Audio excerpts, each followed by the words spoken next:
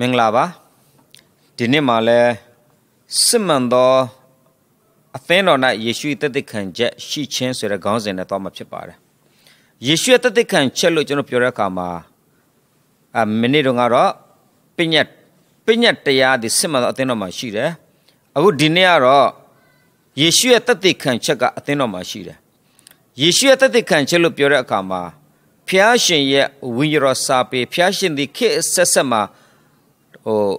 တမန်တော်တွေပရောဖက်တွေကိုအသုံးပြုပြီးတော့အသင်းတော်ကိုဆက်လက်ပြီးတော့ထိမ့်သိမ်းတာကိုကျွန်တော်တွေ့ရတယ်။ဒါကြောင့်မို့ကဘာကြီးရဲ့နောက်ဆုံးသောနေ့ရက်ဆိုင်ရာနဲ့ပတ်သက်ပြီးတော့တတိပေးတဲ့အခါမှာဖျားသခင်ကိုဖျားသခင်ရဲ့တမန်တရားကိုလက်ခံတော်သူများအဖို့အတွက်သတိပြုရမယ့်အရာတစ်ခုရှိတယ်။အဲ့ဒီအရာတစ်ခုကယေရှုရဲ့တသက်ခံချက်ကိုဆွဲလန်းခြင်းနဲ့တဘာဝတရားရဲ့အကြောင်းဩဇာတက်ရောက်မှုကိုရှင်းရှင်းလင်းနားလည်ဖို့အတွက်လိုအပ်ပါတယ်။ ဒါအပြင်ကောင်းကင်တမန်၃ပါးသတင်းစကားကလည်းဖျားရှင်ရဲ့အမှုတော်နဲ့ဆက်နွယ်နေတယ်ဆိုတော့ကျွန်တော်တို့နားလည်ဖို့အတွက်လိုအပ်ပါတယ်။ဒီနေရာမှာယေရှုရဲ့တသက်ခံချက်လို့ကျွန်တော်ပြောတဲ့အခါမှာပရောဖက်တွေရဲ့ဖျားသခင်ခေတ်ဆက်ဆက်ထားရပြီးတဲ့ပရောဖက်တွေရဲ့စကားကိုနားထောင်ခြင်းလိုက်လျှောက်ခြင်းဖြစ်တယ်။ဘာကြောင့်လဲဆိုတော့ဖျားသခင်ဒီပရောဖက်အားဖြင့်သူ့ရဲ့လူတွေကိုသူအမှန်တရားလမ်းကြောင်းကိုသူပြညွှန်ဖျားပြတာကျွန်တော်တွေ့ရတယ်။ဒါအပြင်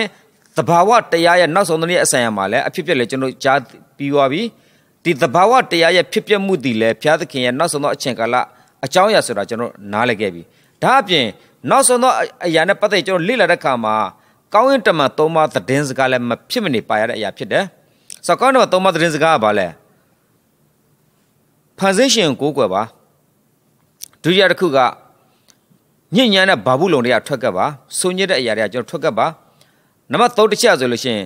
စာရန်ရဲ့ဒစိတ်ကိုညင်းပယ်ပြီးတော့ဖရဲရဲ့ဒစိတ်ကိုလက်ခံမှုအတွက်ဖြစ်တယ်ဒါနောက်ဆုံးအချိန်ကလည်းအင်မတန်မှသတိပြုရမယ့်အရာတခုဖြစ်ပါတယ်စာရန်ကတော့အသက်ဝိညာဉ်တွေလောကမှာရှိတဲ့လူသားတွေဖျားသခင်ချစ်တဲ့သားသမီးတွေတမန်တရားနဲ့လမ်းလွဲသွားအောင်စာရန်ကတော့ကြိုးစားမှဖြစ်တယ်ကြိုးစားမှဖြစ်တယ်စာရန်ရဲ့ကြိုးစားမှုကိုကျွန်တော်ပြန်လဲတိုက်ခတ်နိုင်ဖို့အတွက်ကျွန်တော်နေ့တိုင်းစံစာဖတ်ရမယ်ဒါပြင်ဝိညာဉ်တော်စာပေပရောဖက်ရဲ့စာပေကိုကျွန်တော် လေ့လာဖို့အတွက်လိုအပ်ပါတယ်ပရောဖက်စာပေကိုလေ့လာမှသာလျှင်တမန်ကျမ်းစာကိုကျွန်တော်လေ့လာမှသာလျှင်စာရန်ရဲ့လှည့်ဖျားမှုကိုကျွန်တော်သိရှိပြီးတော့ကျွန်တော်အောင်မြင်ကြော်လွှားနိုင်မှာဖြစ်ပါတယ်ကျွန်တော်ကျမ်းစာမဖတ်ဘူးဝိညာဉ်တော်စာပေကျွန်တော်မလေ့လာဘူးဆိုလို့ရှိရင်စာရန်ရဲ့ကျွန်တော်တို့ကိုတိုက်ခိုက်မှုသွေးဆောင်မှုဖျားမှုကိုကျွန်တော်ကြော်လွှားနိုင်မှာမဟုတ်ပါဘူးဘာကြောင့်လဲဆိုတော့နေရာဒေသတော်တော်များများမှာယူပါယုံရတယ်ဖျားသခင်တို့ကိုဖွင့်ပေးတယ်ဆိုတော့အများကြီးပြောတာကျွန်တော်တွေ့ရလိမ့်မယ် သို့တော်လည်းအဲ့လိုမျိုးပြောတာကျွန်တော်ကြားတဲ့အခါမှာဘာကိုသတိပြုရမလဲဆိုတော့သူတို့ပြောသောအရာသည်ဖျားသခင်ပေးတဲ့ယူပါယုံဟုတ်မဟုတ်တမန်ကျမ်းစာအထောက်အထားနဲ့ကျွန်တော်တက်တည်ပြုရမှာဖြစ်ပါတယ်တမန်ကျမ်းစာရဲ့အထောက်အထားနဲ့သူတို့ရဲ့အသက်တာအသက်ရှင်ပုံနဲ့ကိုက်ညီမှုရှိတယ်ဆိုလို့ရှိရင်တော့ဒါဖျားသခင်ပေးတဲ့ယူပါယုံလို့ကျွန်တော်လက်ခံလို့ရတယ်။ဘာကြောင့်လဲဆိုတော့ဟေရှာမှာလည်းဖော်ပြထားတယ်။သူတို့ပြောသောစကားဆိုလို့ရှိရင်တဲ့သူတို့ပြုတဲ့အပြုမှုဆိုလို့ရှိရင် နှုတ်ကပတ်တော်နဲ့မကိုက်ညီဘူးဆိုလို့ရှိရင်သူတို့နဲ့အာယုံမတက်သေးလို့ကျွန်တော်ဖော်ပြတာတွေ့ရပါတယ်။ဒါကြောင့်မို့ဖျားသခင်နှုတ်ကပတ်တော်နဲ့ကိုက်ညီတယ်သူရဲ့အသက်တာမှာအသက်ရှင်တာကိုက်ညီတယ်ဆိုရင်ကျွန်တော်လက်ခံလို့ရတယ်။သို့တော်လည်းယူပယုံဘလောက်ပဲရရပြီးအံ့ဘွယ်အမှုတွေဘလောက်ပဲပြုပြုသူတို့ပြုလို့သောအရာသည်တမန်ကျတဲ့နဲ့ကိုက်ညီမှုမရှိပါကကျွန်တော်တို့ဒါမှားယွင်းသော prophet ရဲ့စကားလို့ကျွန်တော်လက်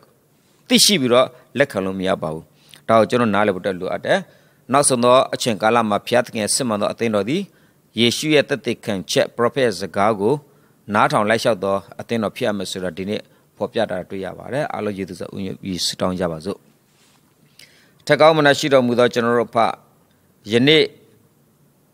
ဖျားသခင်ကျွန်တော်တို့ကိုဖွင့်ပေးတဲ့အလင်းတတော်ကျေးဇူးအများကြီးတင်ပါတယ်ဖျားသခင်စစ်မှန်သောသားသမီးနောက်လိုက်တို့သည်ဖျားသခင်ရဲ့တသက်ခံချက်ကိုဆွဲလန်းလျက်နှုတ်ကပတ်ကိုဖတ်ရှုခြင်းသာမကဘဲနဲ့ ဝိရစာပေအပြင်